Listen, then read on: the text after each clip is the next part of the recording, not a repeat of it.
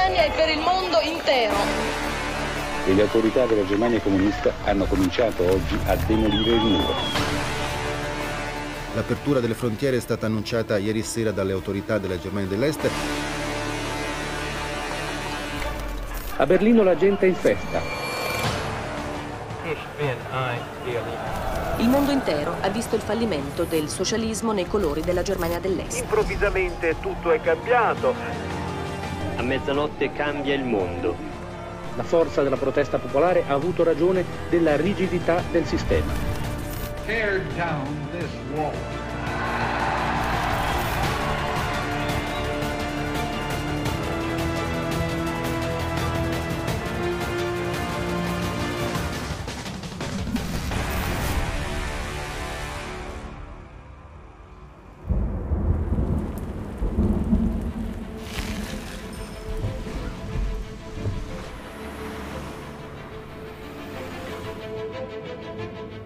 1989 è l'anno dei miracoli, l'anno che cambierà il mondo.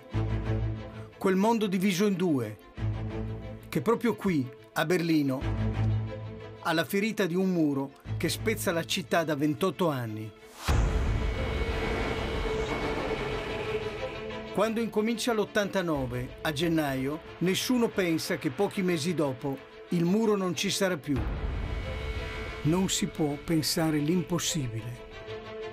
Anzi, Erich Honecker, il presidente della Germania Est, in questo palazzo promette che il filo spinato durerà per sempre.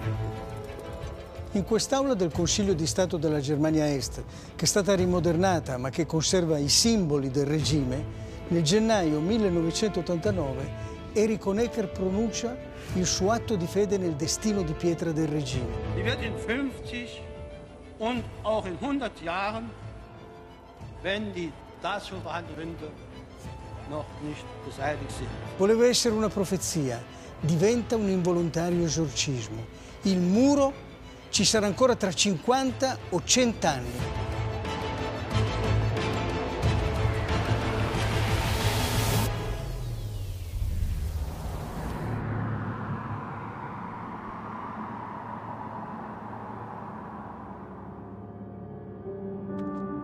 Tutto era incominciato d'estate, a luna di notte del 13 agosto 1961. Un'ora sospesa tra il sabato e la domenica. Sulla frontiera tra est e ovest, che passa per la porta di Brandeburgo, si spengono le luci. Arrivano i soldati. Buio. 400 camion scaricano filo spinato, cemento, pali metallici. Nessuno sa cosa sta succedendo e perché 3.000 artiglieri con i loro 300 panzer si sono acquartierati attorno alla zona centrale della città con 5.000 uomini che aspettano nelle caserme e tutta la polizia mobilitata per la massima allerta. Anche i soldati non sanno. I comandanti apriranno le buste soltanto 120 minuti prima che scatti l'ora X dell'operazione Rose, come chiamata in codice. Vengono chiuse 193 strade, 12 linee ferroviarie, 69 varchi su 81, decine di stazioni. Berlino Ovest viene circondata con filo spinato e sbarramenti, presidiati dalle guardie di frontiera. Più di 155 chilometri, di cui 43 dentro Berlino. È il muro passa davanti la porta di Brandeburgo, sfiora il Reichstag, corre lungo il fiume Sprea.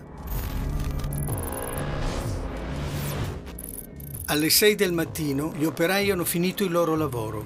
In meno di 5 ore l'operazione Rose è compiuta con successo. I berlinesi capiscono di colpo che una notte ha cambiato la loro sorte per sempre. L'Ovest diventa un miraggio, l'Est è stato fatto prigioniero. Quel filo spinato, sorvegliato dai Kalashnikov, spezza le famiglie, interviene sui destini, divaricandoli.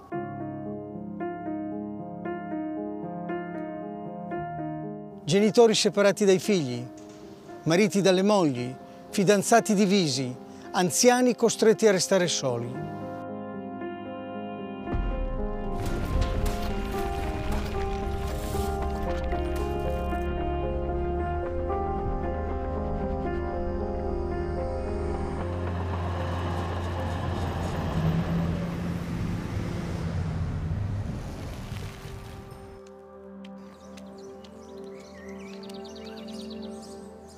La chiesa dei Samaritani è nel cuore di quella che era Berlino Est. La guida ancora oggi un pastore protestante, Rainer Eppelmann. Nel 1961 a 18 anni. Dov'era la notte in cui nacque il muro? Quando mi svegliai la mattina del 13 agosto, ero in bagno e mi stavo lavando i denti. E stavo ascoltando la radio, che aveva portato un mio amico. Così sentimmo d'improvviso la notizia Berlino è chiusa.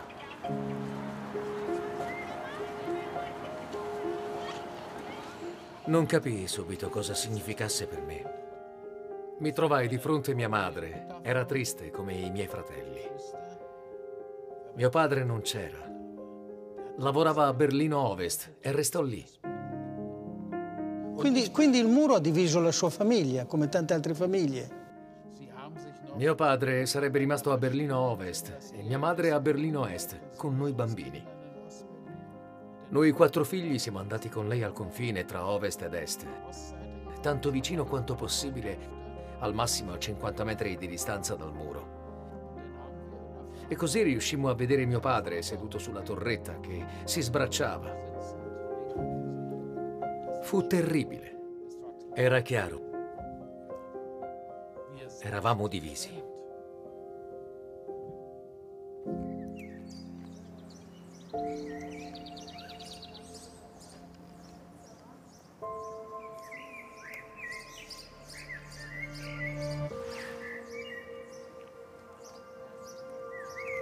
Fin dalla costruzione del muro nel 1961, attraversare questo confine è una questione di vita o di morte per centinaia di persone, soprattutto all'inizio, prima che le maglie della barriera si stringano. Nel primo mese le persone che cercano di attraversare il muro sono 418 e la polizia di frontiera spara 358 volte. Tra i tanti che provano a fuggire c'è persino qualche soldato di frontiera dell'Est. Il primo, due giorni dopo la costruzione del muro, è il caporale Konrad Schumann, 19 anni.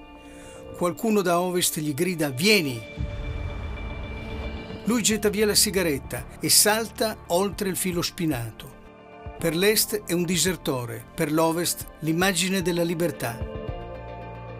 Dietro di sé lascia la sua famiglia, che 28 anni dopo, caduto il muro, si rifiuterà di incontrarlo. Il teatro delle fughe è in strade come questa, Bernauer Strasse, un chilometro 400 metri di pura schizofrenia politica, col lato sud che appartiene alla DDR e il lato nord che fa parte della Germania occidentale. Le case sono est, la strada ovest. I berlinesi orientali si gettano dalle finestre per sfuggire al muro. Nelle prime due notti dell'agosto del 1961 fuggono in 69.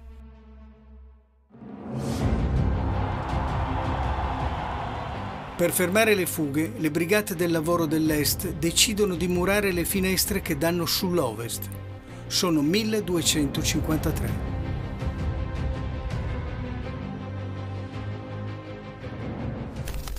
Joachim Rudolf era un giovane studente universitario che si trovava lì proprio in quei giorni. Rudolf, guten Tag. Lei che cosa sapeva di quello che accadeva in questa strada? Bernauer Strasse faceva parte di Berlino Ovest e quindi proprio qui a Bernauer Strasse vedevo che le persone si gettavano dalle finestre. Arrivavano i pompieri dall'ovest, stendevano una rete e le persone ci si provavano a lanciare dentro. Ma alcuni non riuscivano a centrarla e cadevano violentemente sul marciapiede. Cadere dal terzo, quarto piano, quelle persone non potevano assolutamente sopravvivere. È stata una situazione davvero terribile da vivere vicino al confine, prima che riuscissimo a scappare a Berlino Ovest. Spezzare in due una città, ma perché? Come si è arrivati a concepire una misura così estrema?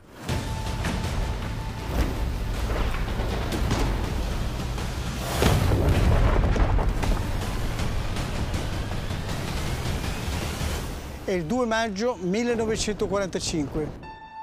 Sul Reichstag devastato dalle bombe sventola la bandiera rossa sovietica. I tedeschi hanno perso la guerra, la Germania è divisa in due. L'Ovest è sotto l'influenza americana, inglese, francese, l'Est sotto quella sovietica di Stalin. Berlino è uno scheletro urbano. Dopo la caduta del regime nazista, le potenze vincitrici decidono di spartirsi Berlino. Quattro settori, uno per ogni paese.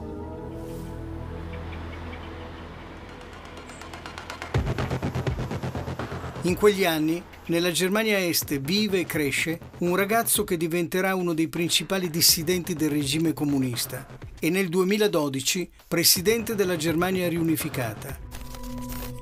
Joachim Gauck. Presidente Gauck, che cos'era la DDR? Come si viveva nella Germania dell'Est? Cos'era differente nell'est della Germania rispetto all'ovest è che i nostri liberatori non ci hanno portato nessuna libertà.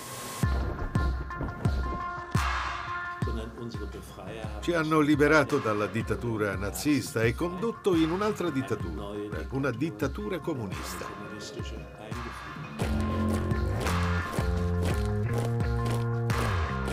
Lei aveva 11 anni quando suo padre è stato portato via da casa e rinchiuso in un gulag in Siberia. È quel giorno che ha conosciuto per la prima volta l'arbitrio del potere. Nessuno ci dava risposte su dove fosse e capimmo di non avere nessun diritto. Gli oppressi non hanno nessun diritto. Mio padre non esisteva proprio. Nonostante tutto, in molti cercano fortuna a Berlino e nel settore occidentale cominciano ad arrivare i primi cittadini stranieri. Berlino era una città ancora che si vedeva martoriata da una guerra paurosa. Giuseppe Vita è uno di questi. Oggi è tra gli italiani più influenti di Germania. Allora era soltanto un giovane laureato in cerca di lavoro. Andando a visitare Berlino Est ho avuto l'impressione che lì facesse più freddo che all'Ovest. Era solo un'impressione psicologica legata al fatto che di là non c'erano negozi con luce al neon, non c'erano automobili se non pochissime, non esistevano i tassi, c'era poco movimento nelle strade e quindi c'era un po' anche l'atteggiamento della popolazione molto molto triste. Per tutti gli anni 50 sono circa 2 milioni e mezzo i tedeschi orientali che passano ad ovest. Molti di loro oltrepassano senza troppa fatica il confine invisibile che divide le due Berlino.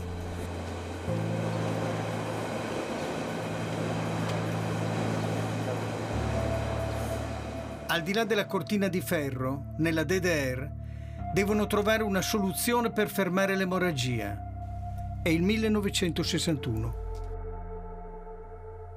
Il primo agosto il leader dell'Unione Sovietica, Nikita Khrushchev, parla al telefono col capo della DDR, Ulbricht.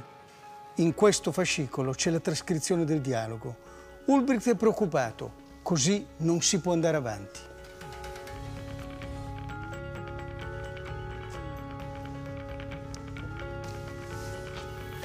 Non c'è abbastanza burro e dobbiamo razionarlo con le tessere. Non rispettiamo i rifornimenti di latte. Quest'inverno l'unica verdura disponibile al mercato erano i krauti e i cetrioli sott'aceto, ma non avevamo nemmeno le patate. Abbiamo congelato i salari, ma non riusciamo a spiegarlo. Khrushchev ha un'obiezione e parla come il padre padrone dell'intero campo dell'Est. Leggo i rapporti originali dei servizi segreti occidentali. Pensano che nella DDR sia maturo il clima per una rivolta. E Khrushchev prende la decisione che segnerà la storia e la vita di Berlino. Bisogna agire e subito. Ho chiesto al nostro ambasciatore di spiegarti la mia idea che le attuali tensioni con l'Occidente dovrebbero essere sfruttate e che un anello di ferro dovrebbe essere costruito attorno a Berlino.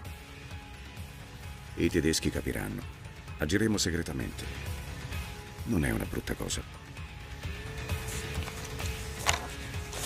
È deciso il muro si farà, rapidamente e senza che nulla trapeli.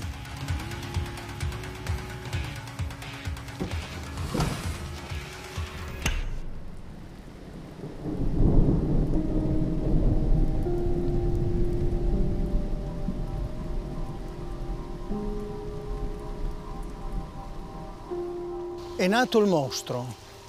All'inizio non ha ancora la forma di un vero e proprio muro, è fatto di filo spinato, cavalli di Frisia, reticolati. Poi dopo l'estate del 1961, utilizzando macerie e scarti di cantiere, nasce una costruzione rozza ma solida che attraversa tutta la città. Il muro non rispetta nulla di quello che trova sul suo cammino, tira dritto, dividendo case, palazzi, strade e addirittura cimiteri.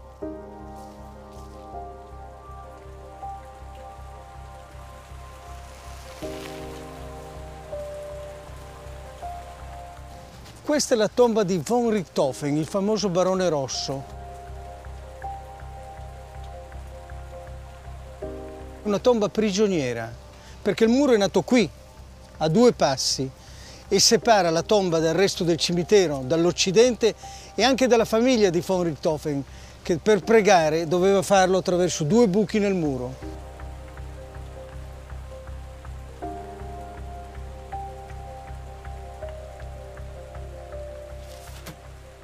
Che cos'era il muro per lei? Che cosa rappresentava? Sì, è stato per me un violento tentativo del regime di rendermi impotente. Dovevo essere uno di quelli che non combatteva contro questo confine artificiale del nostro spazio vitale e dovevo avere la sensazione di non poter scalfire il potere. Era vivere in una condizione che nella storia viene definita come regime assolutista.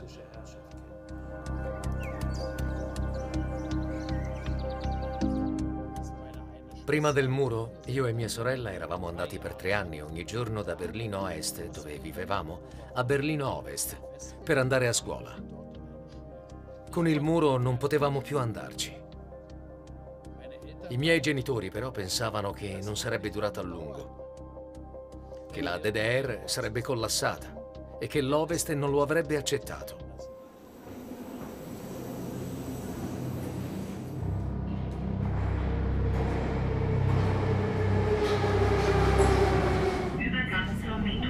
Il muro scende anche nella metropolitana. Lungo le linee che partono e arrivano a ovest, le stazioni che si trovano nel settore orientale vengono chiuse. I treni non si fermano, le entrate sono murate e i militari pattugliano i tunnel per evitare fughe sotterranee. La distanza tra est e ovest sembra ormai incolmabile e lo diventa ogni volta di più quando i berlinesi guardano le stazioni fantasma, come le chiamano. Sono gli scheletri delle vecchie fermate della metropolitana abbandonate perché troppo vicine al muro.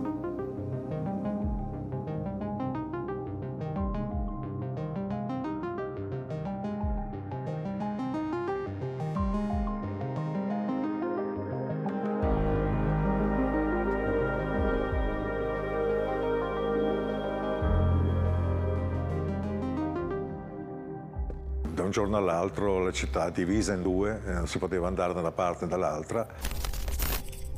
Giorgio Cariotti, quell'estate del 1961, è a Berlino, per amore. Ha 21 anni e ha seguito fin lì una ragazza berlinese, la sua fidanzata. Questa amica mia viveva all'ovest, si è trovata separata dai nonni, sono trovati separati da oggi a domani, quindi i nonni avevano bisogno di essere aiutati anche e loro non potevano più andare e io potevo aiutarli in quanto avevo, avendo passaporto italiano potevo andare a questo checkpoint Charlie, così chiamato, e andare a Berlino Est senza, senza problemi, fin dei conti, però a quel tempo non potevi restare più di 24 ore. L'unico punto di contatto per questa famiglia qua della mia amica ero io. I mesi passano e l'Occidente non reagisce pare non capire la mostruosità del muro. L'unica voce di condanna che si alza, chiara, forte e decisa, è quella di Willy Brandt, il sindaco di Berlino Ovest. Lui credeva nel progresso storico, credeva che la storia fosse sempre in movimento. Ci si trovò davanti alla necessità di rivolgersi subito alla popolazione di Berlino Ma cosa si può dire alla gente? Come si gestisce una cosa simile? E intanto da parte degli alleati non succedeva niente. Brandt si è precipitato dal generale di Stato americano a Berlino, che però diceva di non poter essere di aiuto. Alla fine Kennedy scrisse a Brandt una lettera. Gli americani assicuravano quello che già era stato fatto. Brandt però voleva almeno una dimostrazione di forza, un segno in direzione Mosca, in modo tale da potersi difendere nel caso fosse successo dell'altro. Ci vuole poco perché dell'altro succeda. Il 25 ottobre, a poco più di due mesi dalla costruzione del muro, un funzionario civile statunitense viene fermato e perquisito dalle guardie di frontiera tedesche dell'Est. Gli americani non possono più stare a guardare inerti. La tensione stringe Berlino e proprio qui, al checkpoint Charlie, il posto di blocco tra i settori sovietico e americano, nell'ottobre del 1961 si fronteggiano per tre giorni e tre notti i carri armati russi e statunitensi. È uno stallo che rischia di incendiare la guerra fredda.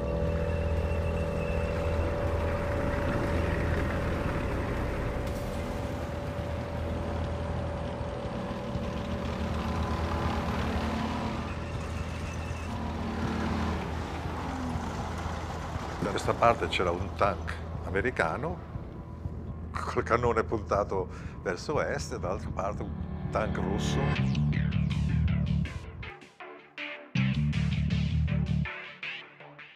Sapevo cosa potesse succedere ancora, quindi è stato un periodo molto, molto, molto delicato. Lei ha avuto paura in quei giorni? Se si sparano addosso inizia la terza guerra mondiale. Io credo che noi fossimo dilaniati. Da un certo punto di vista la reazione degli americani ci aveva rallegrato. Ci aveva dato speranza. Ma al prezzo della distruzione? Della nostra distruzione? Non volevamo neanche questo. Ci rendemmo conto di essere imprigionati. Probabilmente imprigionati per tutta la vita, senza nemmeno un giusto processo. Nessuno dei due carri armati varca la linea di confine, nessuno apre il fuoco. Lo stallo. Questa è la guerra fredda, la minaccia della guerra, senza la guerra. E di questo strano conflitto il muro è l'arma perfetta. Per i berlinesi il timore della guerra e la speranza di un cambiamento si dissolvono in pochi minuti, insieme col rumore dei cingolati che rientrano nelle caserme.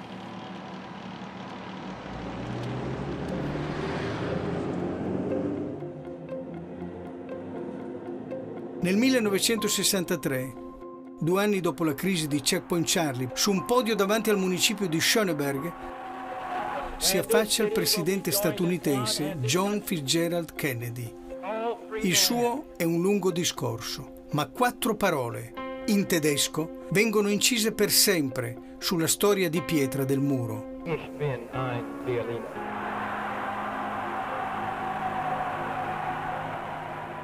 Sembra l'inizio di un cambiamento e invece le parole di Kennedy sono una breccia nel muro che si riaprirà solo 26 anni dopo, nel 1989.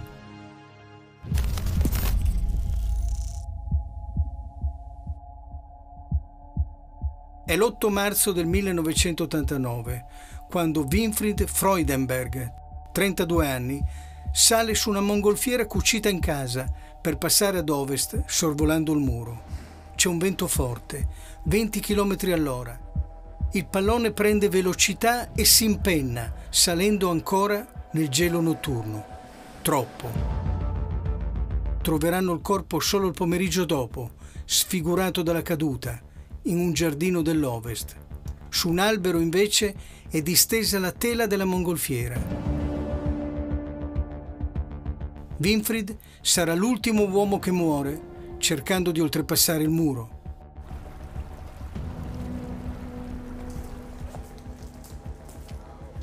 In quei 13 giorni Berlino Ovest è in piena campagna elettorale. Tra i candidati per diventare sindaco c'è Walter Momper. Quando ho visto la scena di quella tragedia, che cosa ha provato, che cosa ha pensato? Fu una vicenda spaventosa. Attraverso questa storia si vede a che livelli di sforzo fossero arrivati i cittadini della DDR per scappare ad ovest. Berlino Ovest come viveva queste continue fughe, questi tentativi dall'est di raggiungere la città? Eravamo al contempo sconvolti e spaventati e non potevamo concepire che regnasse così tanta disumanità per colpa del muro. Questa è anche la constatazione fondamentale. Il muro è disumano dalla sua costruzione in poi. E il fatto che le persone siano sempre state fucilate a centinaia in quel luogo attraverso i decenni era terribile e faceva paura a tutti. Ogni volta che uno veniva fucilato o uno con una mongolfiera tentava di fuggire e atterrava morto, non ci si poteva che ricordare di questa situazione che era durissima. Io l'ho percepita così. Non era una vita serena, uno non poteva evitare di preoccuparsi del domani. Ne sono morti tanti con tutti i vari sistemi per cercare di scappare dal eh, creare uno spazio nel retro dell'automobile al posto del serbatoio di benzina. Bastava mettere un litro di benzina per fare il tragitto, al posto del serbatoio mettevano una persona. Ogni fuga, ogni vittima rievoca l'atrocità del muro. Eppure nel 1989, sia a est che a ovest della città, si è andata creando una sorta di abitudine, di assuefazione al mostro di cemento, come una malattia. Il muro era già diventato, direi, quasi un'attrazione turistica, quindi quasi quasi lo si accettava perché attirava tanta gente a visitare Berlino. Lo si accettava anche perché che possibilità c'erano di buttarlo giù da parte dell'Ovest. E ogni tanto ci passava, andava a vederlo così, ma abitando qua non è che ti facesse tanta impressione, cioè sì, faceva impressione in certo senso, però la vita qua andava avanti normalmente. Di giorno non te ne accorgevi mica, c'era molto, eri, eri in una gabbia dorata praticamente a Berlino. È calata sul paese una sindrome di adeguamento causata dalla paura. Se noi ci immaginiamo che in Germania dell'Est ha regnato la dittatura dal 1933, ciò significa che per tre generazioni la sottomissione, l'adeguamento e la paura hanno dominato la vita delle persone. In 28 anni il muro è diventato maestoso, ogni anno di più. Quello che Winfried Freudenberg aveva sorvolato con la sua mongolfiera nel marzo 1989 è l'ultima generazione del muro. In cemento armato rinforzato, suddiviso in 45.000 sezioni, costato oltre 16 milioni di marchi dell'Est. Alto 3,60 metri con 302 torri di sorveglianza, 20 bunker, 5.000 cani da guardia, ma già solo un anno dopo la sua costruzione, il muro era un'arma più sofisticata di un semplice reticolato di filo spinato.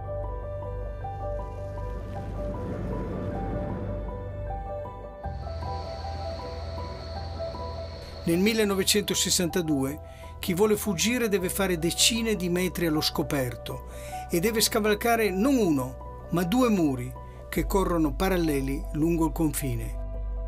In mezzo una zona cuscinetto molto più facile da controllare. Questo è un pezzo che ancora rimane oggi della cosiddetta striscia della morte, come la chiamavano i berlinesi. C'è un tratto di terreno compreso tra i due muri che dividono l'est dall'ovest.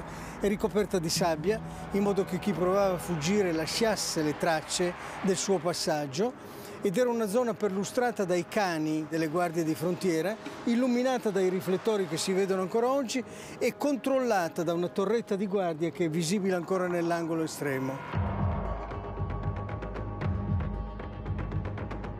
Nel 1962 Joachim Rudolph è già fuggito da est a ovest una volta. Vuole però rimettersi in gioco, stavolta per aiutare a fuggire altre persone con un'idea che sembra folle. È un progetto che prevede un tunnel di 120 metri, che è il più lungo fino a quel momento. Di quei 120 metri, 90 sono nel territorio dell'est. Passa qui sotto il muro e arriva nel, nel territorio dell'est. Quindi un'operazione molto pericolosa. Sì, certamente non fu facile decidere se partecipare o meno alla costruzione del tunnel. Effettivamente era pericoloso, anche perché le guardie di frontiera avevano già scoperto e sparato a tre costruttori di tunnel.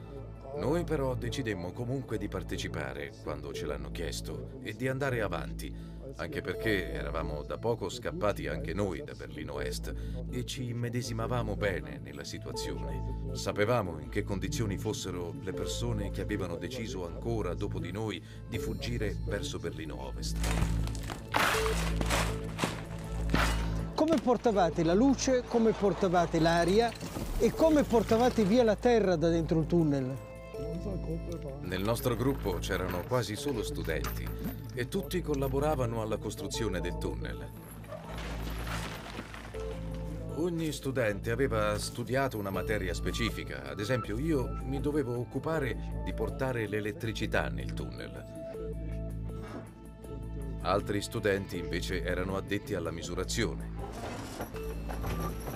Mentre per trasportare il fango fuori dal tunnel abbiamo utilizzato un carretto che lo estraeva tramite l'energia elettrica. Ognuno si concentrava sulle cose che sapeva fare meglio e ovviamente ognuno scavava. Scavare era il lavoro più importante.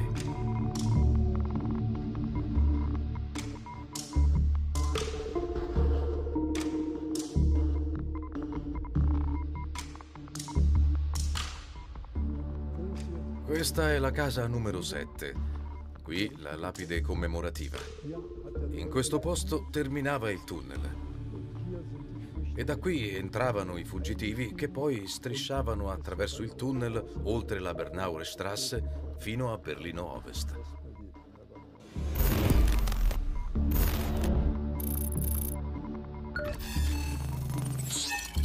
Ma centrare un bersaglio così preciso, a 120 metri di distanza, con le guardie di frontiera che camminano sopra, non era una follia? Sì, certo. Per noi era una situazione decisamente inusuale e carica di tensione. Il mio compito era anche quello di uscire e di controllare se davvero questa fosse la casa numero 7.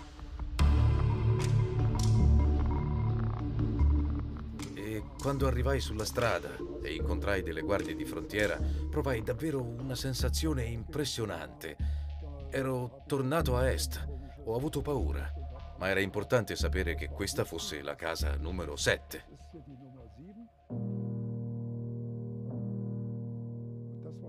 Fu molto toccante, perché quando arrivò il gruppo di fuggitivi, un ragazzo dell'Ovest che aveva scavato il tunnel vide il suo amico, salì le scale e gli saltò al collo.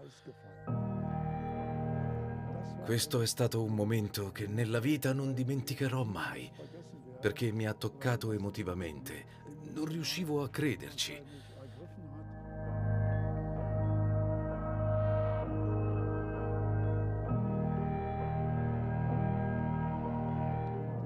E ho detto a me stesso che non importava se fossero ancora arrivati dieci o cento fuggitivi, tutti gli sforzi compiuti, le vesciche sulle mani, le scosse elettriche nel tunnel erano valsi la pena per vivere quel momento.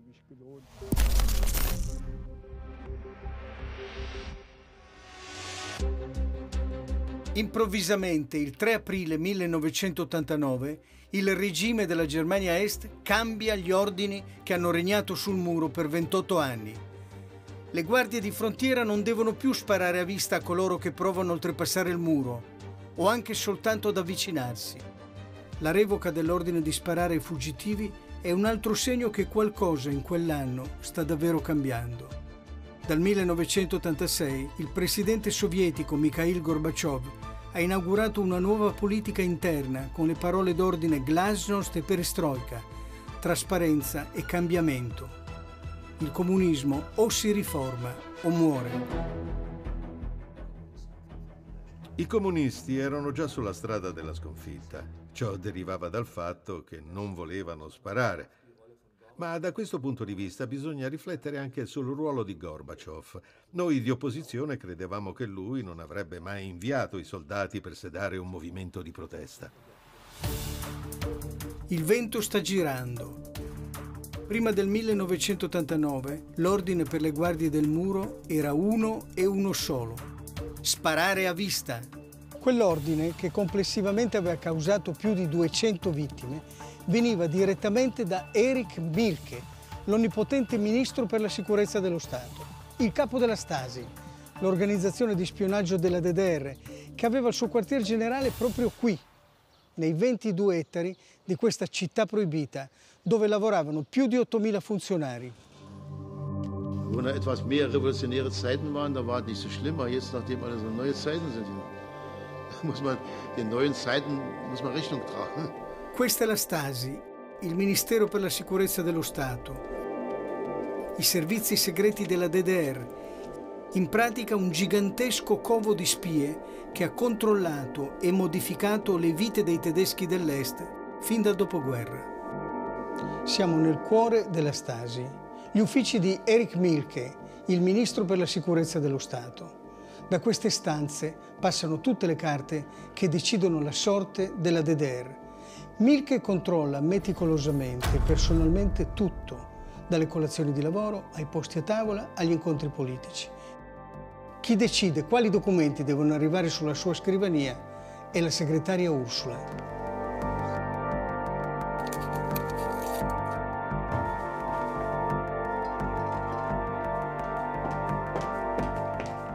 Tutto nell'ufficio è rimasto come se il ministro fosse andato via da qualche minuto i telefoni sulla scrivania, i registratori per catturare ogni conversazione tra queste mura, il tritacarte per eliminare ogni prova. Se finiva di lavorare tardi, Milk rimaneva a dormire in ufficio, proprio qui.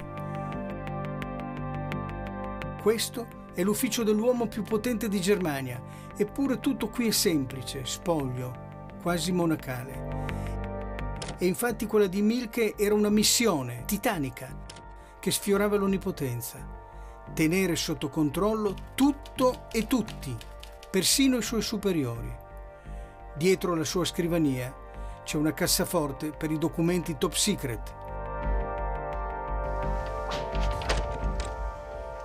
Dentro c'è il fascicolo rosso che contiene informazioni scottanti su Honecker, il numero uno della DDR, quando da giovane comunista faceva le sue confessioni alla Gestapo, da usare il giorno in cui il segretario generale fosse caduto in disgrazia. Dal segretario generale ai comuni cittadini, tutti finiscono tra le strette maglie della Stasi. Neanche le chiese restano fuori da questi tentacoli.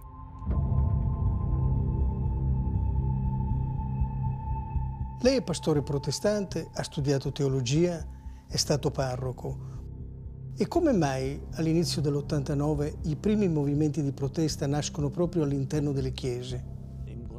La Chiesa era l'unica organizzazione contraria al regime, seppure non in modo palese, ma perlomeno era autonoma.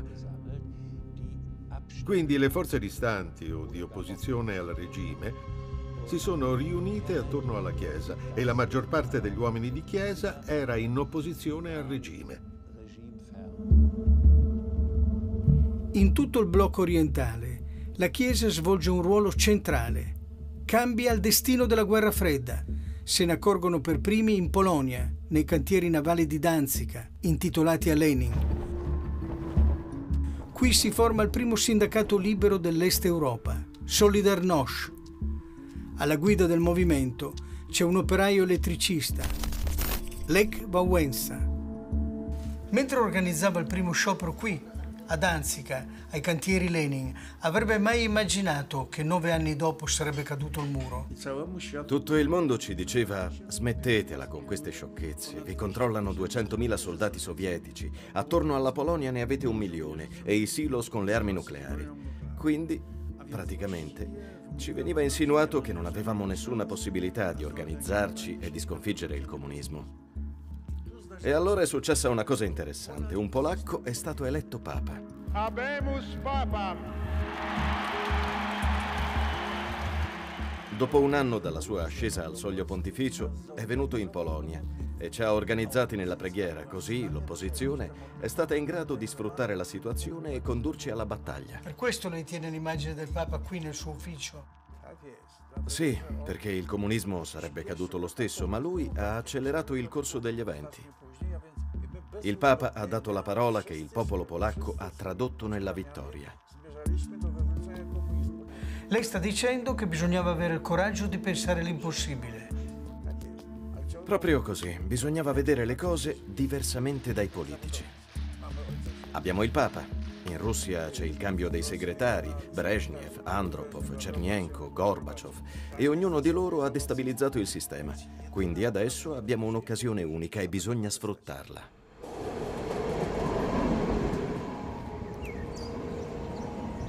Uno dei luoghi a Berlino Est in cui si ha il coraggio di pensare l'impossibile è la chiesa dei Samaritani di Rainer Eppelmann. Lei ha organizzato le prime messe blues in questa chiesa con una grande partecipazione di credenti e non credenti, da cui poi è nata la discussione che ha portato ai primi movimenti di opposizione. Che cos'erano queste messe blues e come le è venuto in mente? Un giorno suonarono alla porta e di fronte a me c'era un uomo, decisamente atipico per gli standard della DDR. Capelli lunghi, disordinati, un gilet e un paio di jeans un po' consumati. Mi disse che suonava musica blues, che voleva fare dei concerti in chiesa.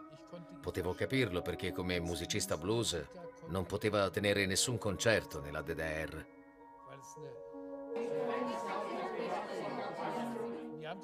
La prima messa mi spaventò. Quando entrammo, fumavano e bevevano vino rosso. A me e al mio collega subito prese un colpo. Cosa avevamo permesso di fare? Capimmo poi subito che non volevano provocarci, ma non erano ancora mai stati in chiesa in vita loro.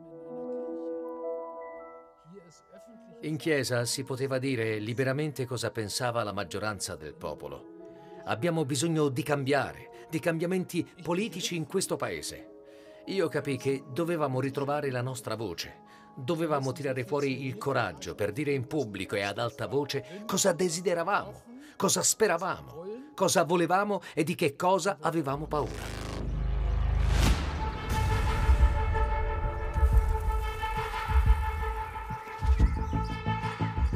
Fuori la Stasi filmava e fotografava i fedeli per intimidirli, per spaventarli. Sì, ricordo ancora durante le messe blues. Sui tetti delle case, in alto, c'erano moltissime persone con macchine fotografiche. Filmavano e fotografavano tutti quelli che stavano di fronte alla chiesa. Non si nascondevano dietro ai camini, ma si facevano vedere in modo che tutti li guardassero e così tutti li indicavano. Un giorno nella mia auto, mentre guidavo, si staccò il volante, era sbullonato. Quello, a quanto ne so, è stato uno di quattro tentativi di ammazzarmi.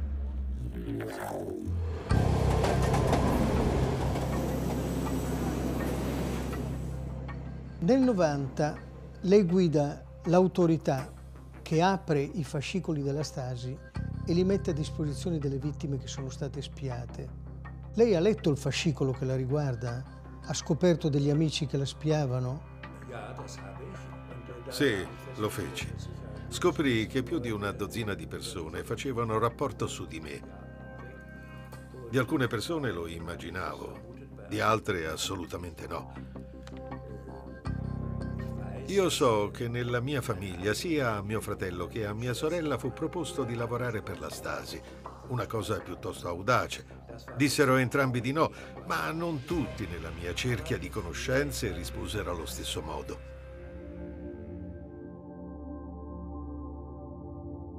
Nel 1989 la Stasi dispone di 91.000 impiegati a tempo pieno e più di 100.000 informatori, cioè la percentuale di spie più alta di tutti i paesi dell'Est. Una spia ogni 59 abitanti della DDR. Tutti i documenti sono contenuti in un archivio enorme, 111 km di dossier. In quelle carte poteva finire praticamente chiunque.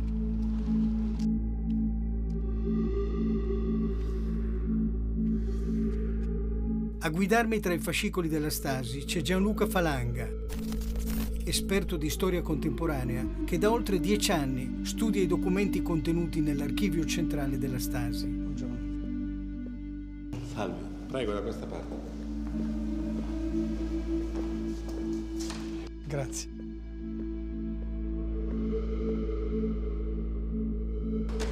Questi sono i famosi fascicoli che tecnica usavano? Come schedavano le persone? C'era una schedatura a tappeto molto intensa che ci ha consegnato circa 39 milioni di queste schede nominali con dati anagrafici di moltissime persone.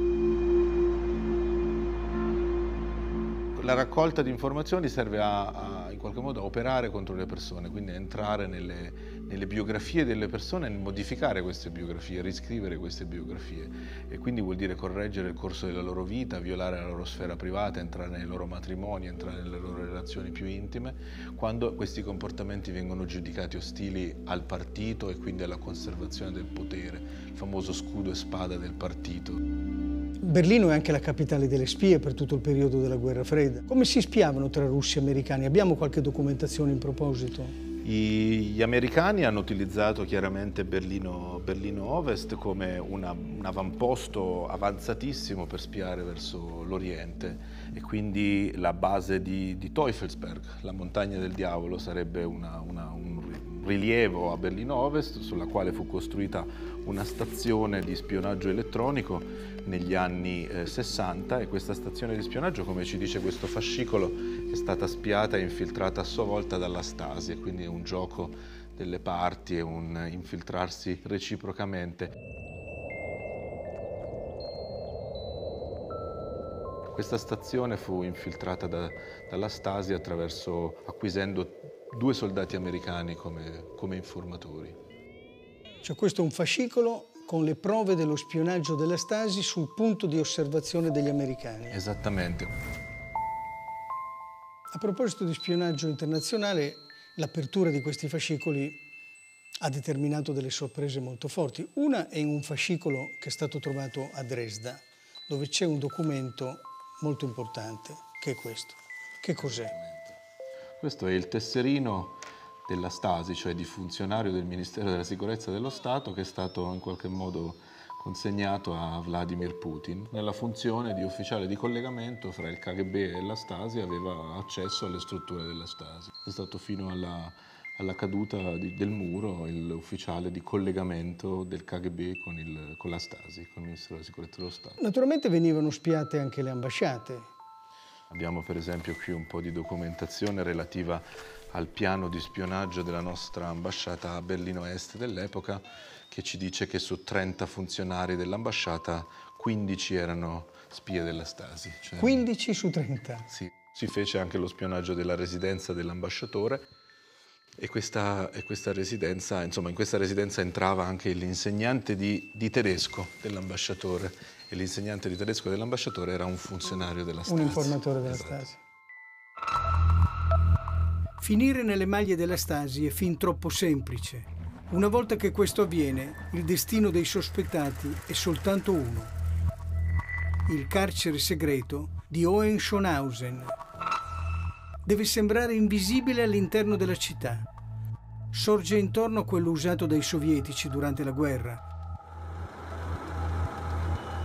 Si arriva qui di nascosto dentro un furgone di frutta e verdura.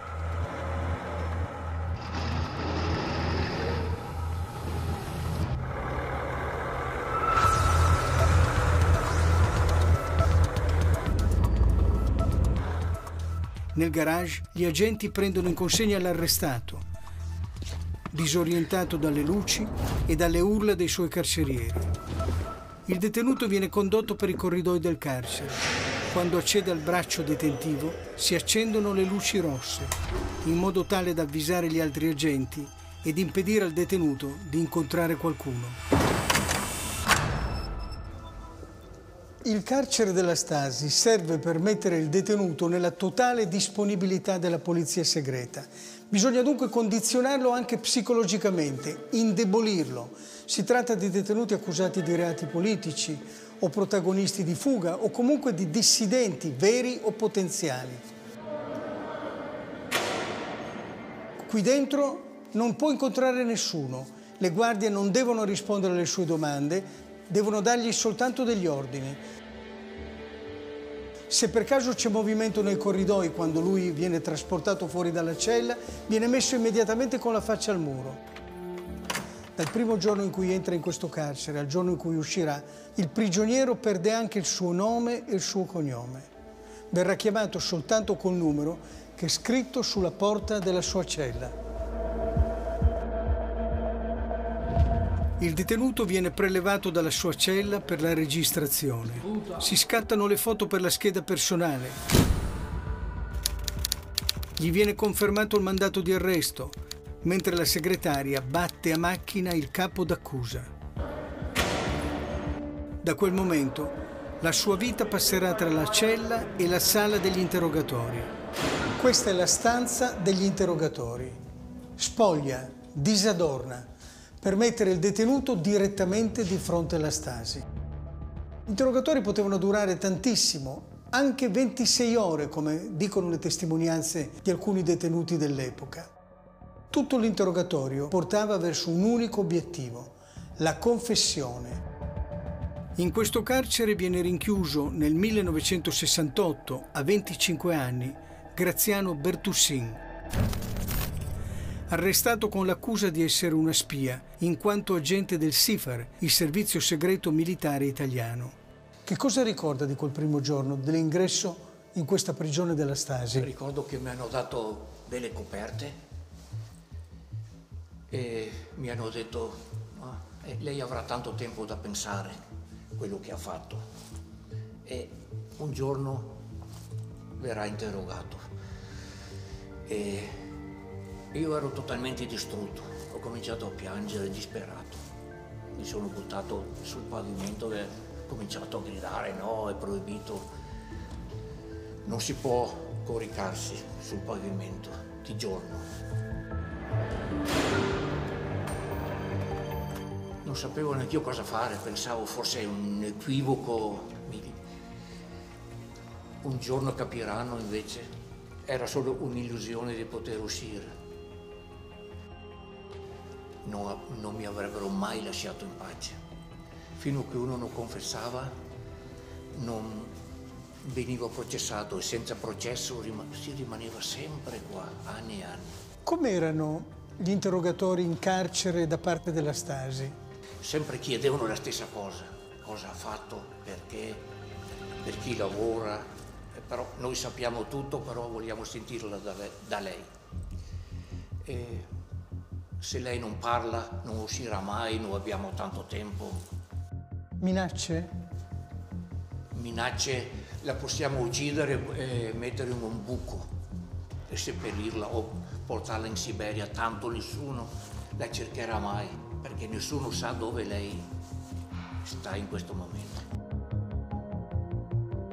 Le carte custodite nell'archivio della Stasi descrivono Bertussin come una spia dei servizi segreti italiani lui, ancora oggi, nega decisamente. Anche a distanza di anni è difficile sapere la verità. L'unica certezza è che Graziano ha passato quattro anni della sua vita dietro le sbarre.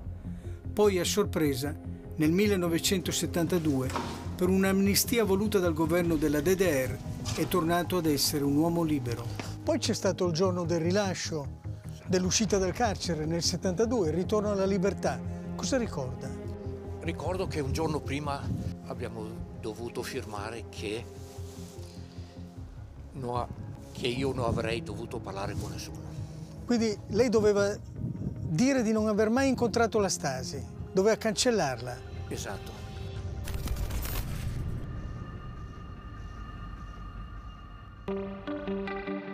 Un piccolo paese sul confine del blocco orientale tra Ungheria e Austria, il 2 maggio 1989 avviene un evento storico. Queste immagini sono destinate a diventare storiche.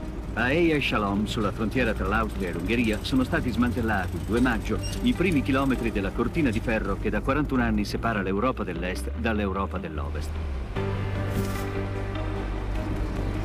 Il filo spinato tagliato sul confine ungherese è conseguenza della nuova politica estera di Mikhail Gorbaciov. La politica del non intervento. L'Unione Sovietica non interferisce più negli affari interni degli altri paesi del blocco comunista. Gli effetti si sentono anche nella Polonia di Lech Wałęsa, Quanto ha pesato la presenza di Mikhail Gorbaciov al Cremlino? Lei si fidava in quel momento delle promesse di Gorbaciov di non usare più carri armati contro il dissenso nei paesi dell'Est? Gorbaciov si è trovato in una situazione forzata. Il comunismo stava cadendo a pezzi, le nazioni si rivoltavano.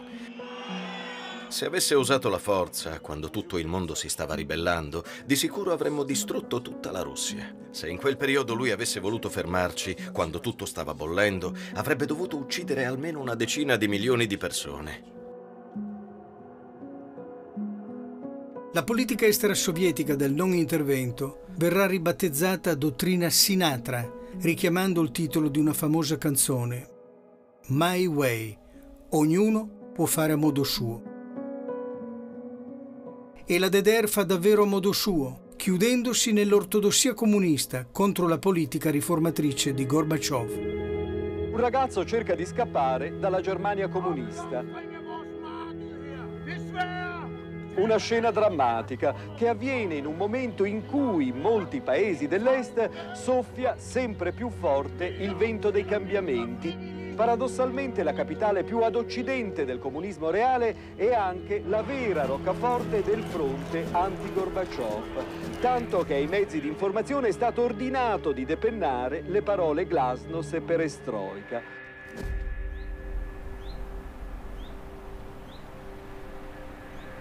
Il regime continua imperterrito a selezionare, controllare, manipolare l'informazione, come ha sempre fatto da 40 anni a questa parte. Nelle scuole elementari i maestri chiedono ai bambini di disegnare sui quaderni il logo dei programmi televisivi che i genitori guardano a casa. Questo perché le famiglie orientano le antenne per captare i programmi proibiti dell'Ovest. Anche qui a Marzani, il quartiere dell'innovazione abitativa, 42.000 appartamenti, tra cui quello in cui stiamo per entrare, che è rimasto esattamente com'era nell'ultimo giorno della DDR, fermo al 1989.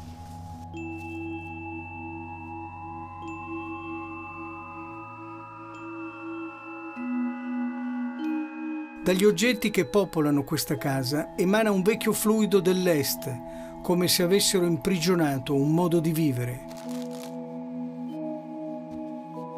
Ogni casa della DDR era così, stessi oggetti, stessi colori, stessi marchi, il trionfo della plastica.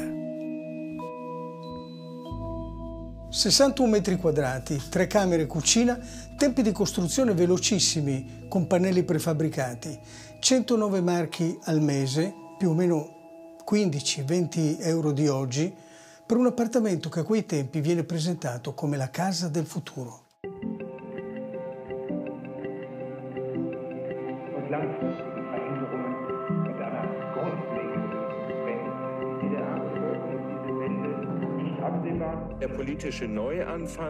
La sera tutti sono davanti alla TV di Stato con due soli canali che fanno controinformazione sulle notizie che arrivano da Occidente.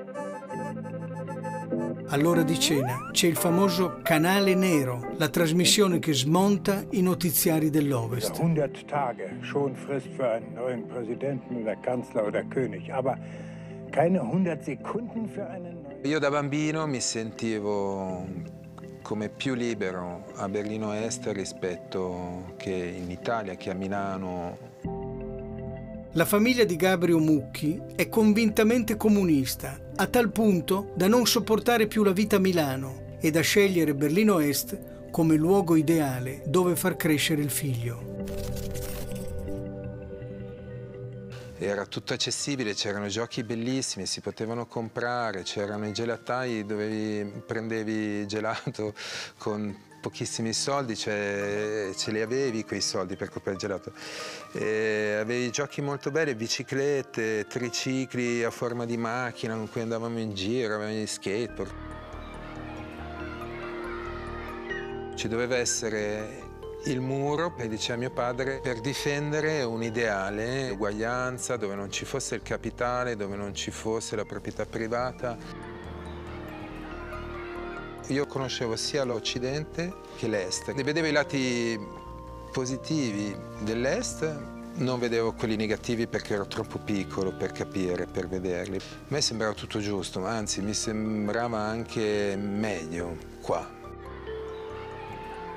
C'è chi però guarda Berlino Est non con gli occhi del bambino, ma col disincanto della realtà.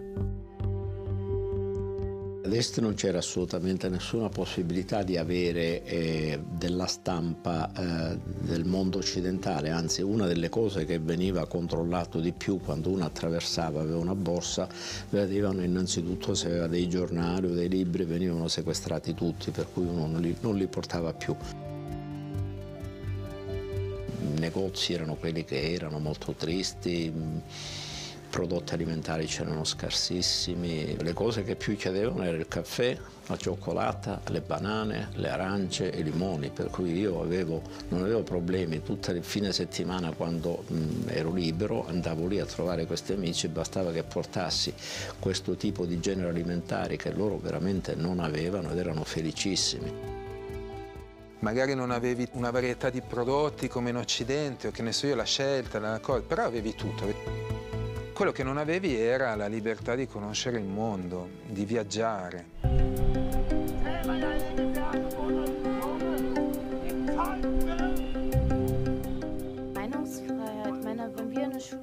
Quello che ci manca di più è la libertà, la libertà di parola. Vogliamo finalmente poter parlare senza paura. Se fossi cresciuto e nato diciamo, in Germania dell'Est e non avessi avuto la possibilità di entrare e uscire, attraversare il muro come potevo, sicuramente questo l'ho sempre pensato e ne sono convinto a 18-19 anni avrei cercato di scappare anch'io. Rispetto all'Est, Berlino Ovest sembra un mondo a sé stante, con una quotidianità totalmente diversa. Noi eravamo un'isola e si stava bene. Massimo Mannozzi, fin dagli anni 60, mette in piedi il suo ristorante, che diventa in breve tempo uno dei più importanti di Berlino Ovest. Era tutto illuminato, eravamo sotto il regime americano, non si pagava le tasse, non, la gioventù che veniva qui non faceva il militare.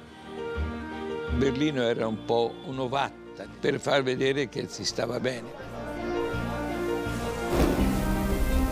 I russi venivano spesso a mangiare da me e mi dicevano ancora pochi giorni noi veniamo con i carri armati e facciamo piazza pulita e siete tutti nostri. Ah, dico bene, allora io cambio il nome, invece di Bacco ci metto Pirosca e, e Allegria. E ridevano, no? A Berlino Est non c'erano colori, non c'era niente. Quando andavo di là nei ristoranti, il ristorante vuoto, le cameriere a sedere, dicevo senti volevo mangiare, diceva ma non c'è posto, non volevano neanche, non avevano interesse di lavorare, non interessava, tanto rimane, erano sempre gli stessi.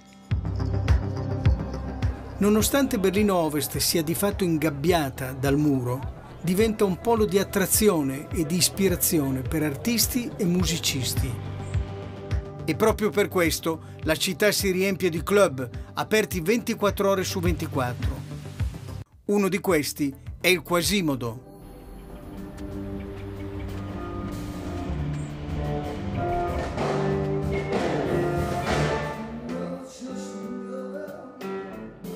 Chaka Khan ha suonato qua, Prince è venuto a fare un, una session, Dizzy Gillespie, Chet Baker, Art Blakey eh, e tanti tanti altri che hanno contribuito a, questo, a questa fama di Berlino come città della musica.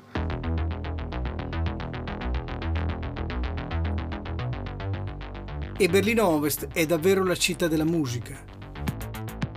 Il muro non riesce a reprimere l'arte e una delle principali valvole di sfogo della scena musicale berlinese si trova in Kottenerstrasse 38.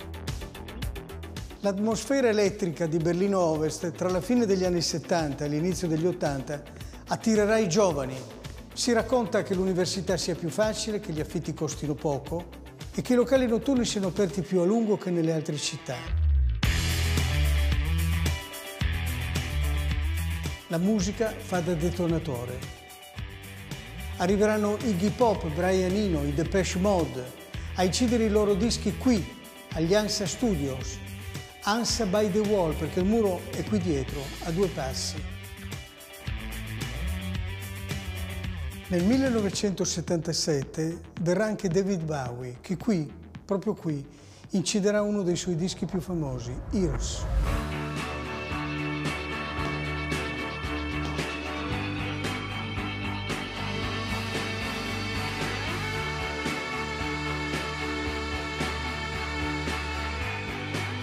È stato proprio il muro a ispirare la canzone.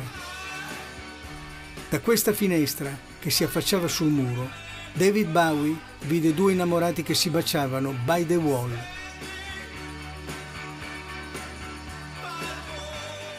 Nel giugno 1987 David Bowie canta Heroes davanti al Reichstag.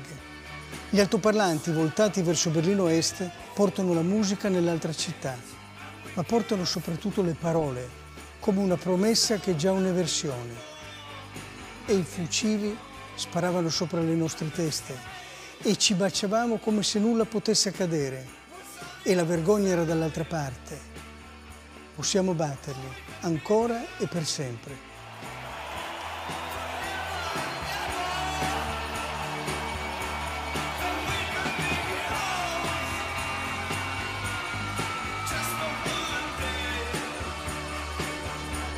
Meine Damen und Herren, und nun, Ihre Exzellenzen, der Präsident der Vereinigten Staaten von Amerika, Mr. Ronald Reagan und Mrs. Nancy Reagan.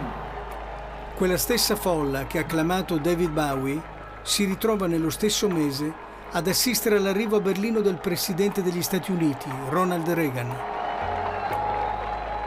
Reagan deve fare un discorso alla porta di Brandeburgo, su un podio circondato da vetri antiproiettile e coi cittadini dell'Est che si accalcano sul checkpoint per cercare di sentirlo da lontano.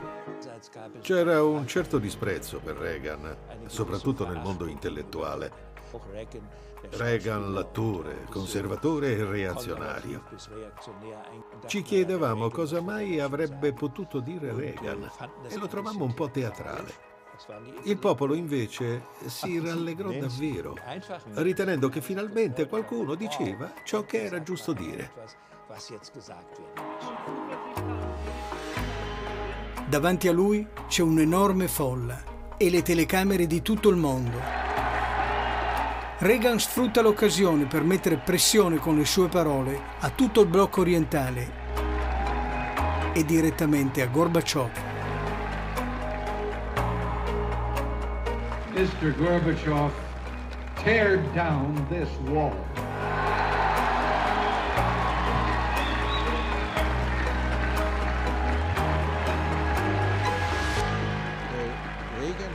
Reagan è arrivato in un periodo in cui tutti pensavano che nulla sarebbe cambiato, in cui tutto sarebbe rimasto immobile rispetto a Berlino Ovest.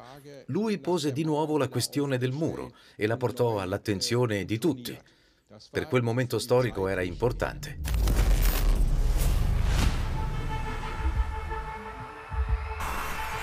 Nell'estate dell'89 qualcosa inizia a cambiare anche nella Germania Est. I tedeschi orientali, non potendo andare ad occidente, decidono di occupare le ambasciate della Germania Ovest a Berlino Est, a Praga e a Budapest, richiedendo asilo politico. Molti nostri amici si sono meravigliati o si sono spaventati che improvvisamente sparivano delle persone che loro conoscevano ma sparivano perché non volevano raccontare che stavano cercando di scappare e quindi sparivano. Il regime della DDR non permette ai fuggiaschi di lasciare le ambasciate. Li tengono in gabbia, in attesa di prendere una decisione. Non tutti però nella DDR pensano che la fuga sia la soluzione giusta. Davanti alla cortina di ferro che si disgrega, in tanti scelgono di manifestare, di rimanere per cambiare il loro paese. Lei ha sempre detto di non voler andarsene, che bisognava restare, lottare e rovesciare il regime dall'interno. Quando ha visto le, fughe verso la Cecoslovacchia, verso l'Ungheria, ha cambiato idea in qualche modo? Nel nostro paese ci fu una grande inquietudine. Qualcuno credeva che il comunismo non avrebbe avuto futuro. In risposta a questa pressione data dalle masse di giovani che lasciavano i loro paesi, molti pensarono che fosse importante rimanere in patria, cambiare le cose.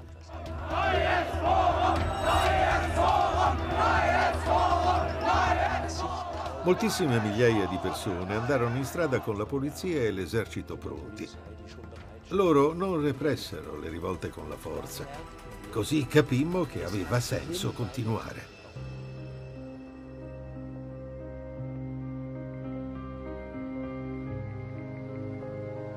Si sta aprendo un'epoca e spalancando un mondo. La musica, la tv, Reagan, Gorbaciov, le manifestazioni di protesta hanno rotto l'equilibrio immobile del lungo dopoguerra, alzando il velo che sembrava oscurare il futuro della DDR. È il vento dell'89 che comincia a soffiare finalmente anche sul muro.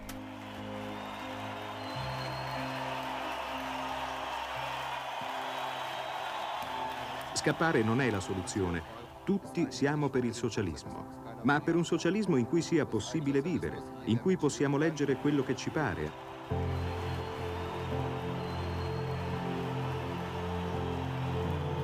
Non si può semplicemente scappare, andare via. Proprio noi, giovani, dobbiamo restare e cogliere la sfida del cambiamento.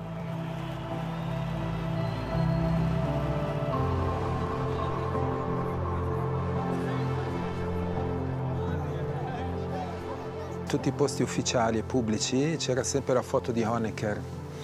E i bambini, in quell'estate lì, quella volta lì, per la prima volta hanno notato che lo prendevano in giro, gli facevano le boccacce, lo, lo insultavano come, non, non, in maniera cattiva, però... Eh, e, e allora mi sono reso conto che qualcosa c'era di strano, di nuovo.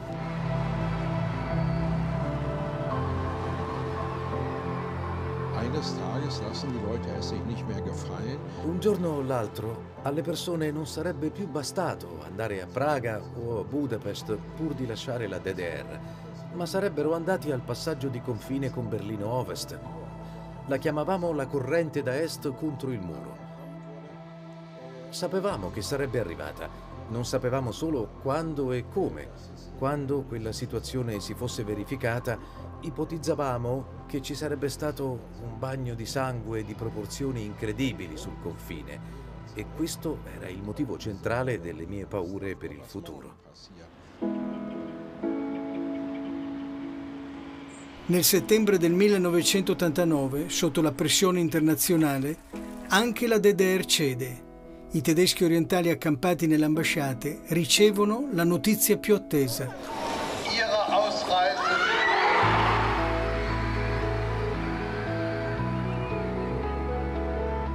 Troppa la gioia, l'entusiasmo di migliaia di profughi, 5-6 mila, accampati da giorni nell'ambasciata della Germania Ovest a Praga. Il mondo intero ha visto il fallimento del socialismo nei colori della Germania dell'Est.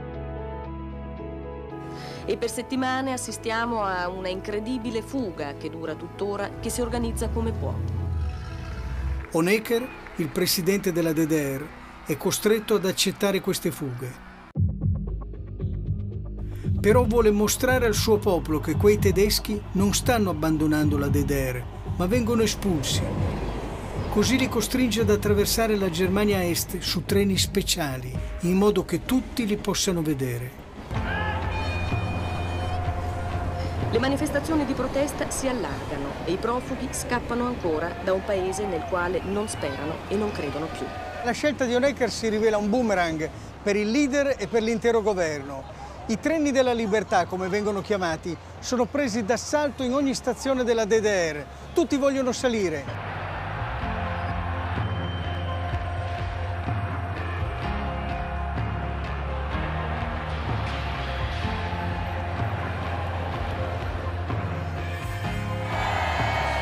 A gettare altra benzina sul fuoco è l'arrivo di Gorbaciov a Berlino il 7 ottobre per il quarantennale della DDR. La folla appena lo vede durante la parata inizia a urlare il suo nome. Poi le urla diventano un'invocazione quasi mistica più che politica. Presidente, che cosa hanno significato per voi che vivevate nella DDR gli applausi della folla di Berlino Est a Gorbaciov alla fine dell'89 con le grida Gorbaciov salvaci, Gorbaciov aiutaci? Molte persone che avevano vissuto a lungo nella dittatura, che avevano introiettato quel senso di impotenza, non riuscivano a rendersi conto di rappresentare esse stesse il potere e credevano che i cambiamenti potessero arrivare solo dall'alto. Così avviene una sorta di appello al re, come accadeva prima, o al principe, tipo Eccellenza, Sua Maestà, per favore, no? Ecco, così il popolo si rivolse a Gorbaciov.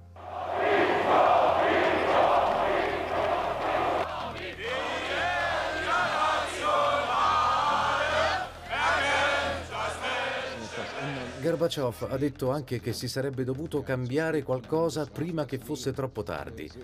Chi arriva troppo tardi sarà punito dalla vita, disse qualcosa di simile, per affermare che nella DDR non si erano attuate le riforme.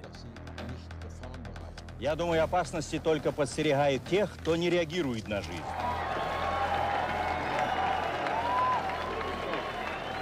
Ad essere punito per l'immobilismo della DDR è proprio Erich Honecker, che 11 giorni dopo, davanti alle proteste che montano in tutto il paese, è costretto a dimettersi. Il nuovo segretario generale è Egon Krenz. Krenz decide di iniziare la stagione delle riforme concedendo ai cittadini dell'Est permessi per viaggiare con maggiore libertà. Come è saputo la notizia che le frontiere si stavano aprendo? Accadde che il 29 ottobre ci fu un incontro con Schabowski, il numero due del nuovo governo della DDR, e lui mi disse alla fine, dopo un colloquio molto lungo, quasi tre ore, mi disse en passant che avrebbero garantito ai tedeschi orientali la libertà di viaggiare, quindi di oltrepassare il confine. Io gli chiesi se avessero ragionato su cosa avrebbe significato per il loro paese e lui mi rispose che dando la libertà a tutti di uscire e di entrare, nessuno avrebbe più avuto motivo di fuggire. Pochi sembrano capire la portata di quella decisione. In quei giorni una delegazione tedesca con il cancelliere della Germania Ovest Kohl era in Polonia per una visita ufficiale. Mi incontro con questa delegazione e comincio a modo mio. Signori, a breve cadrà il muro di Berlino, a breve crollerà l'Unione Sovietica. Siete pronti per questa situazione? Il ministro degli esteri Genscher sospira e dice Caro, vorremmo avere questo tipo di problemi. Durante la nostra vita non succederà. Il compito di dare la notizia al mondo sulle nuove regole di viaggio spetta a Gunther Schabowski. Dopo anni in cui Berlino è stata spezzata da un muro, anni in cui decine di persone comuni hanno perso la vita nel tentativo di oltrepassarlo, anni in cui le madri sono state separate dai figli, sta per arrivare l'annuncio che darà la prima picconata al muro. È la sera del 9 novembre 1989. Non, è che ci fosse emozione o grande attesa. La sera prima, nella casa di Riccardo Erban, il corrispondente italiano dell'ANSA, squilla il telefono. Mi avvertirono che ci sarebbe stata una conferenza stampa e che era importante. confermai subito, sì, ci sarò presente, non c'è dubbio. È l'inconsapevole inizio della fine. Tra poche ore il muro di Berlino cadrà.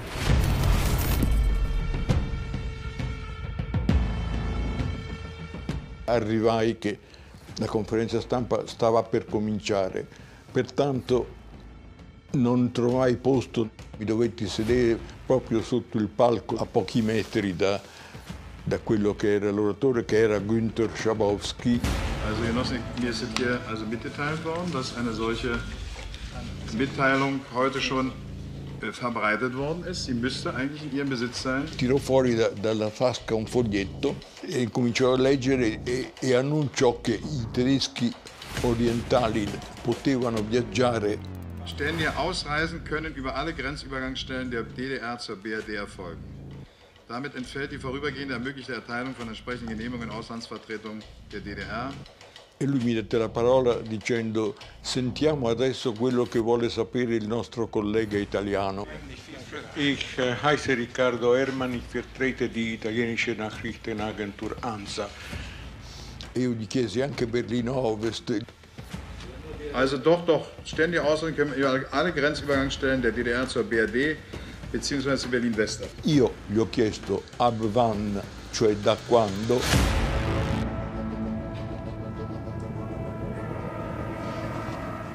e lui mi rispose unverzüglich ab sofort.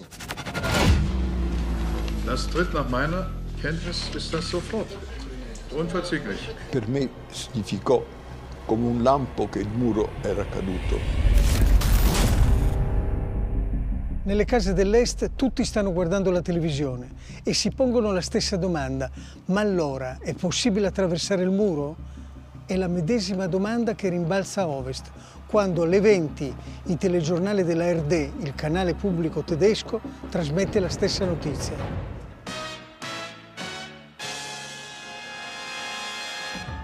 Guten Abend, meine Damen und Herren. Ausreisewillige DDR-Bürger müssen nach den Worten von SED-Politbüro-Mitglied Schabowski nicht mehr den Umweg über die Tschechoslowakei nehmen. E quella sera me la ricordo come se fosse oggi, veramente. Anche Antonio Marazzita, autista dell'ambasciatore italiano a Berlino Est, come tanti altri sente il telegiornale. Si trova a ovest, ma decide di tornare a casa, ad est, passando in auto la frontiera. Vicino al ponte di Borroma Strasse già si cominciava a sentire, a vedere un po' l'aria che eh, girava intorno, era freddo quella sera del 9 novembre. Appena attraversato il ponte si vedevano le prime guardie lì che già stavano in agitazione. Chi stava nella cabina a telefonare, a fare, c'erano tanti poliziotti schierati con i mitra, tutti quanti, perché la gente che stava venendo sempre di più che voleva passare, però ancora non avevano aperto le, le, le sbarre.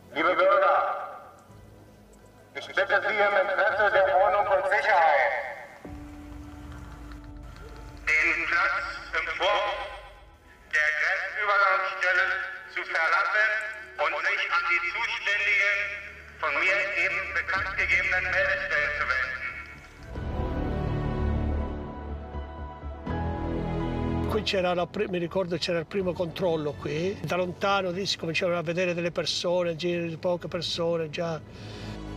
Arrivato qui, proprio qui, già qui era l'altra frontiera lì, già c'era la gente che cominciavano a venire sempre più da questa parte, ecco qui. E allora, eh, allora, è vero che sta, il, il, muro sta crollando, eh? non, ci, non ci credevo ancora.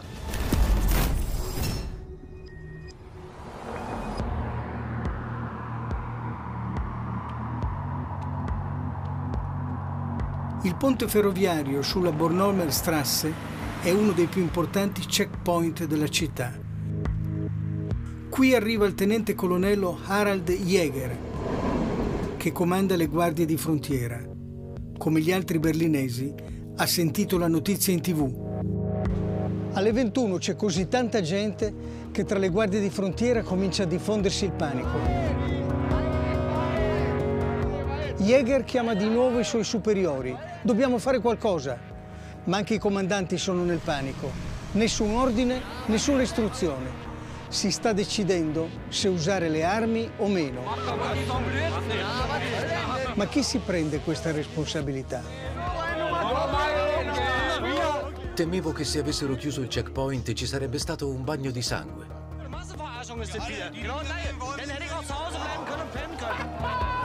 La paura di Momper è fondata. Qualche anno più tardi, il cancelliere Kohl raccontò a Giuseppe Vita cosa avvenne in quelle ore. Ho ricevuto una telefonata da Gorbaciov, il quale gli chiedeva ma cosa sta succedendo a Berlino? Perché i miei generali hanno avuto la richiesta di tirare fuori i carri armati e parole testuali di Kohl, non faccia uscire i tanks e i carri armati perché sarebbe stata una vera carneficina, poteva essere anche l'inizio di una guerra.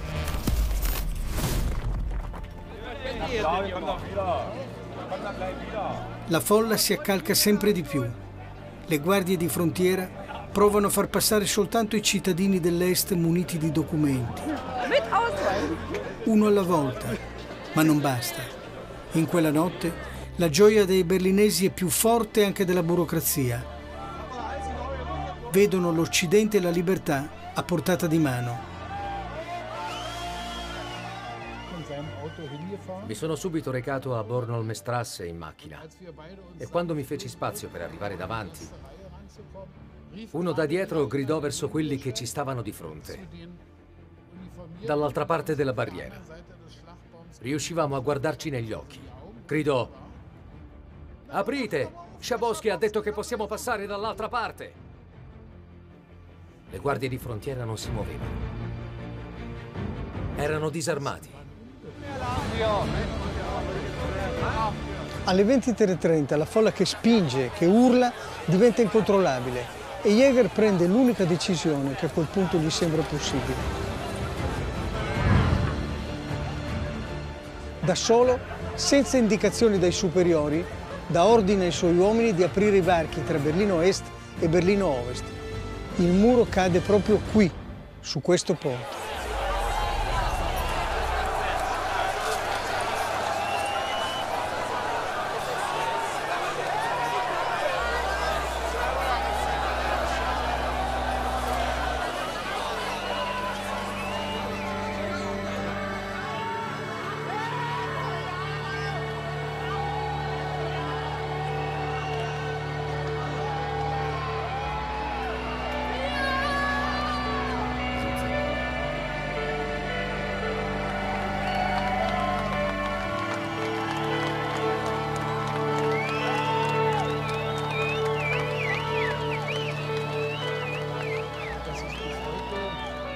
Oggi quella è stata la serata più emozionante della mia vita. Anche gli sconosciuti si abbracciavano. Tutti dicevano solo una parola. Pazzesco. Pazzesco. È lei quello che ha fatto la domanda, si haben die Frage gestellt. E così sono stato io. Bravo!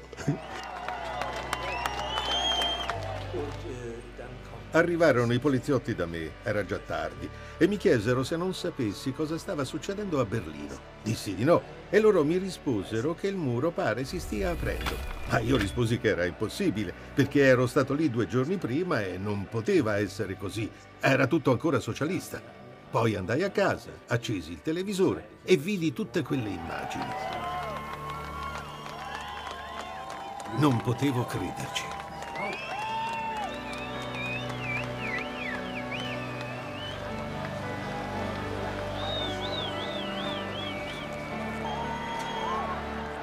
In quella notte del 9 novembre uno degli uomini di Jäger lo raggiunge e gli dice Harald, credo che per la DDR sia finita. E a quel punto, improvvisamente, Jäger si rese conto che sì, era davvero finita.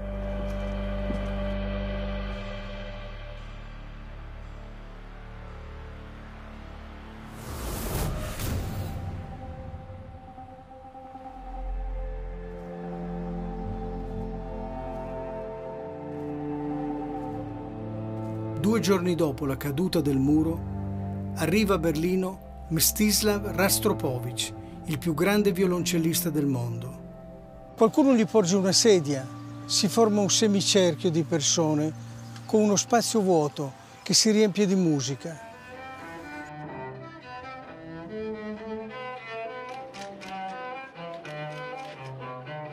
Quel filo spinato aveva diviso la sua vita e adesso che si è squarciato può ricomporla. È un ringraziamento e un de profundis ed è la prima preghiera che attraversa il muro che fu.